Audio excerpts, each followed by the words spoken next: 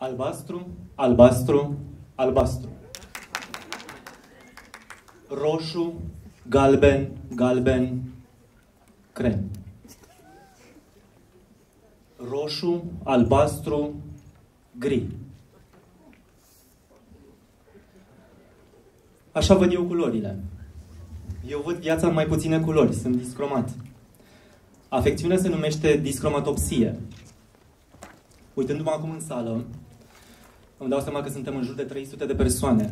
Dacă ar fi să presupunem că 100 sunt bărbați și 200 femei, statistica ne spune că în acest moment, de față cu noi, se mai află cel puțin 8 bărbați și o femeie care suferă de această afecțiune. Mai târziu, împreună, vom face un test să verificăm veridicitatea acestei statistici. Eu nu am văzut niciodată lucrul ăsta ca pe un impediment. Nu am văzut niciodată ca pe un defect. Însă ceea ce am făcut în momentul în care am descoperit că nu pot vedea culorile, a fost să-mi ridic niște bariere, să-mi setez niște limite. Am avut parte însă de o experiență care m-a ajutat și am, m-a făcut să înțeleg că limitele sunt făcute ca să fie depășite. Acum 12 ani eram student, prietena mea Andrada de la vremea respectivă și ea studentă la Facultatea de Design Industrial, secția Design de Produs, m-a rugat să o ajut cu o lucrare.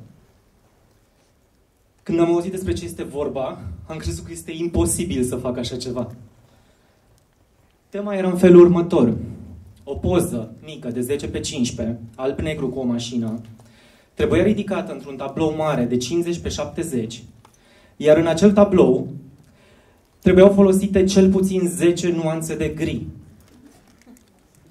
Am decis să o ajut folosind logica. Eu eram student la Politehnică, foarte bun pe desen tehnic. Mi-a fost ușor să ridic mașina la scară, din poză în tablou, și tot logica am folosit-o când a fost vorba de culori. Am început de la alb pur, să adaug câte un pic de negru, încă un pic de negru, încă un pic de negru, până la negru pur.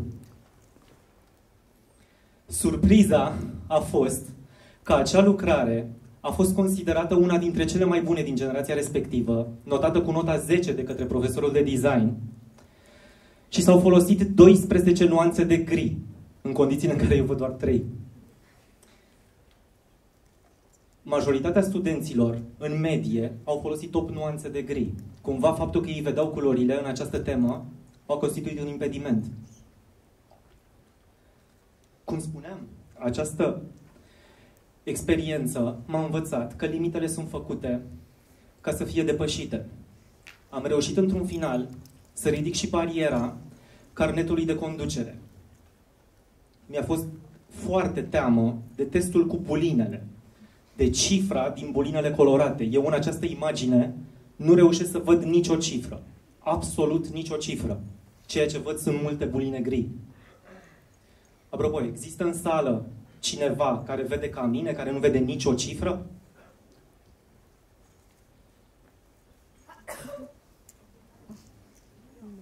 Nu văd pe nimeni. Se pare că statistica de 8% dintre bărbați și 0,5% dintre femei nu se dovedește a fi adevărată astăzi.